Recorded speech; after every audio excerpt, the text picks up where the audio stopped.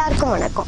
நம்ம எல்லாம் பயந்து நடுங்கிட்டு இருக்கக்கூடிய ஒரு விஷயம். உங்களுக்கு என்னன்னு தெரியும். கொரோனா வைரஸ் இந்தியா உட்பட சைனா இட்டாலி அமெரிக்கா மாதிரி பல நாட்டில் இந்த வைரஸ் பரவிட்டு இருக்கு நம்மளை விட டெக்னாலஜிக்கில் அதிகமாக இருக்கிற நாடால கூட இதுக்கு மருந்து கண்டுபிடிக்க முடியாம தவிச்சிட்டு இருக்காங்க உலகத்துல பல பேர் இறந்து போறதா நம்ம தினமும் நியூஸ் மூலமா கேள்விப்பட்டுட்டு இருக்கோம் அதனால தான் நம்ம கவர்மெண்ட் நமக்காக டுவெண்ட்டி ஃபோர் ஹவர்ஸ் ஒர்க்கிங்லேயே இருக்காங்க. எதனால? கொரோனா வைரஸ்னால எதுக்காக? நமக்காக. அதே மாதிரி தான் டாக்டர்ஸ் போலீஸ் நர்ஸ் இவங்க எல்லாருமே டுவெண்ட்டி ஃபோர் ஹவர்ஸ் நமக்காக ஒர்க்கிங்லேயே இருக்காங்க.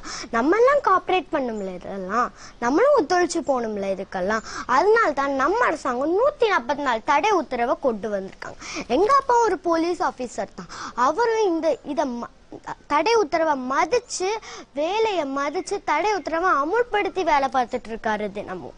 அவர் வீட்டுக்கு வந்து அவர்கிட்ட இருக்க முடியல. தூரத்துல இருந்து சாப்பிட்டுட்டு போறாரு. அவர்கிட்ட பேச முடியல. நாங்க உண்மையிலே அவரை ரொம்ப ரொம்ப மிஸ் பண்றோம்.